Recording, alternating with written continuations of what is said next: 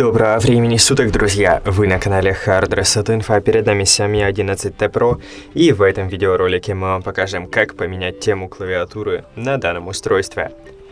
Для этого нам нужно открыть клавиатуру в любом приложении, к примеру, открою в заметках, и здесь вы должны э, нажать на шестеренку в, в этой части экрана, если ее нет, нужно нажать здесь на стрелочку, она появляется, или зажимаем запятую, тянемся к шестеренке, выбираем пункт темы, и здесь ставим любую тему из тех, которые нам нравятся, или нажав на плюсик, мы можем поставить какую-то картинку из галереи на фон клавиатуры.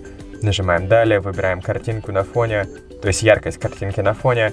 Э, дальше опять нажимаем далее, Выбираем, хотим ли мы видеть контр-клавиш и нажимаем «Применить».